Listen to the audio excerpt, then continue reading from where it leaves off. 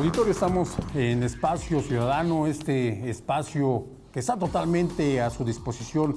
Le quiero exhibir, este es un documento en el que un médico traumatólogo ortopedista certificado da cuenta precisamente del estado de salud que guarda el joven Neftalí Martínez Mateo. Eh, se detalla eh, totalmente el tipo de lesiones que presenta, y bueno, nada más para adelantarle, nos dice que carece de sensibilidad en miembros torácicos hasta la hematoma, anestesia total, fue necesaria aplicarle para poderlo valorar eh, durante esta revisión a la, que fue sometida. Y bueno, hace un comentario final, dice que los familiares que es necesaria la fusión, no garantizándose la recuperación total y que es muy probable que quede con secuela en este momento.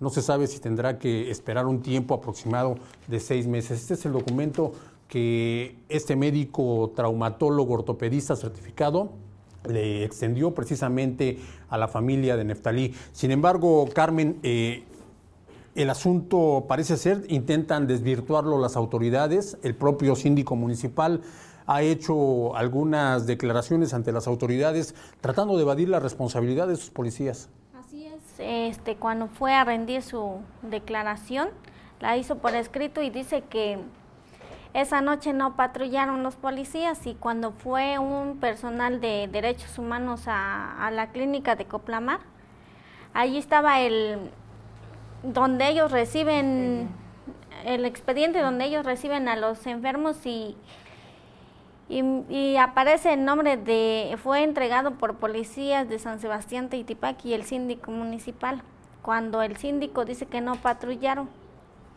Pero la verdad es de que ante el IMSS Coplamar, estos policías se presentaron a, dejar a, este joven. Señora eh, María, además de, esta declaración que intenta ser desvirtuada por parte del síndico municipal, Neftalí reconoció plenamente a los policías. Hace rato usted comentaba dos nombres, mencionaba dos nombres que... Son este, nueve, con el... Son nueve, nueve.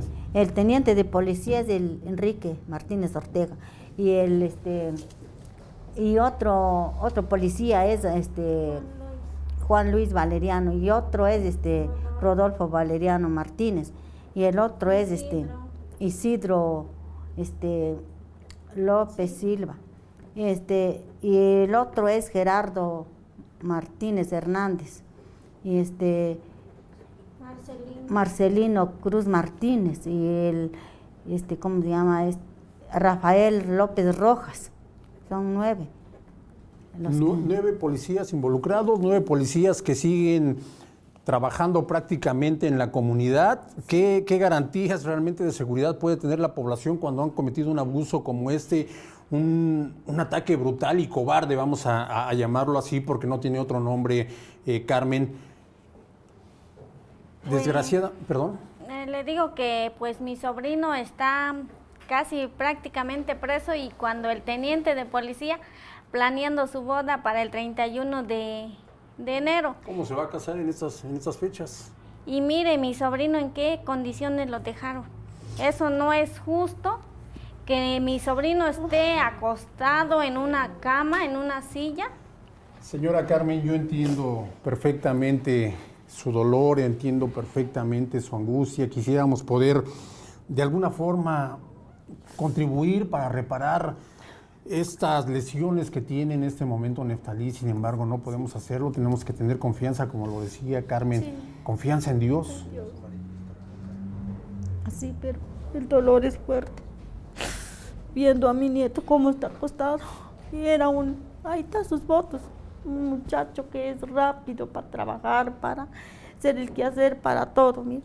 Llega con sus estudios, con sus libros, con su bicicleta y y mira mamá lo que yo hice, mira, mira lo que me sacaron de calificación.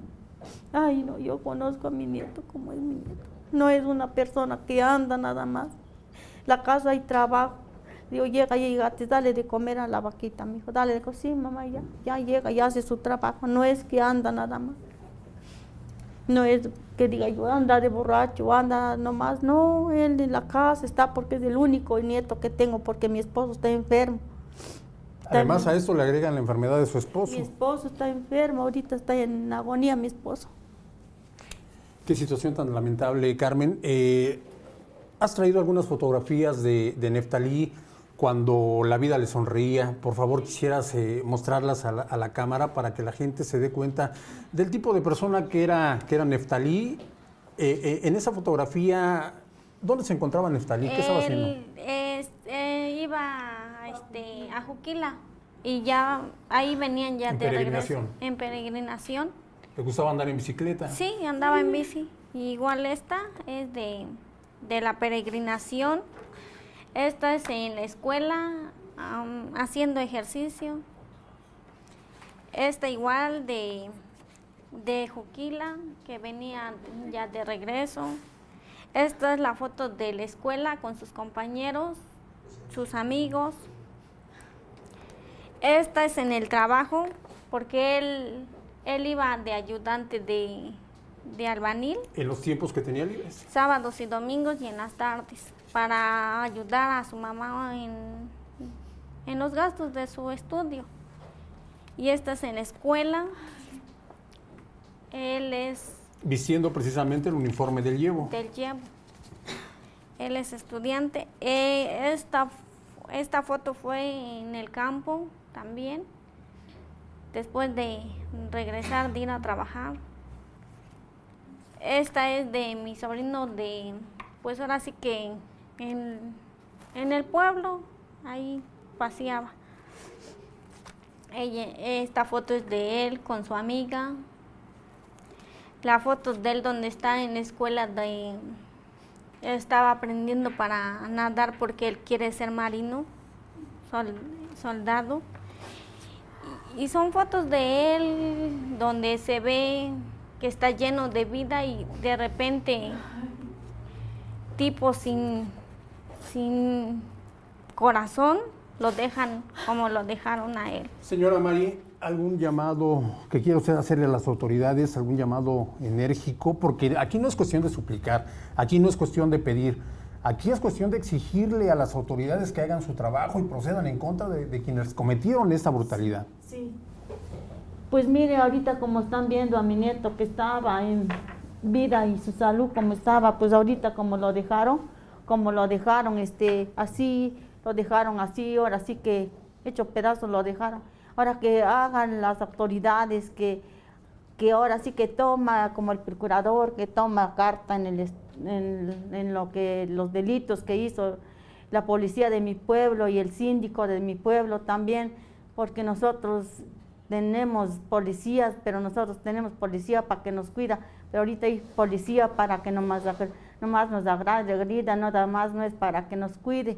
Ahora fue a este, hacerle a mi nieto así como una criatura, un, un inocente que no se pudo defender porque es un inocente.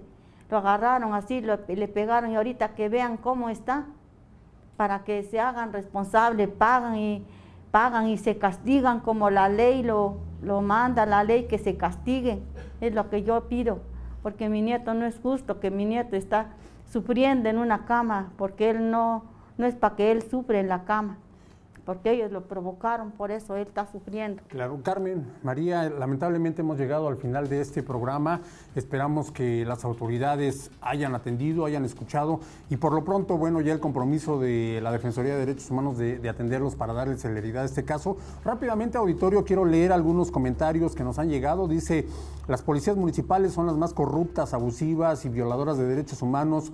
Eh, deberían de encarcelar a los que hicieron esto a este joven. Hay otro comentario que dice, qué lástima lo que le pasó al muchacho, dice, le pido a Dios que lo ayude a recuperarse pronto y que los culpables sean castigados. Una, un mensaje más del auditorio al, 200, al 951-172-5797 dice, no tengo palabras para expresar lo que siento al conocer este caso, pero mi indignación es más grande al ver el cinismo del presidente municipal y sus abogados.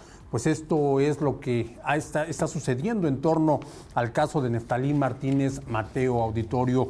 Yo quiero agradecer el día de hoy la presencia de nuestras invitadas, Carmen Mateo y María Jiménez Valeriano, tía y abuela de Neftalí. Y bueno, auditorio, invitarle para que el próximo viernes nos demos cita, 12 horas del día, Espacio Ciudadano. Vamos a estar abordando otro tema realmente preocupante para nosotros eh, como sociedad el tema de los feminicidios, ha habido casos recientes. Vamos a traer en concreto un caso que también ha lastimado mucho a una, a una familia. Nos vemos el próximo viernes, 12 horas del día, canal 143 de cable. Muchísimas gracias a todos los que participan en la realización de este programa. Nos vemos el próximo viernes.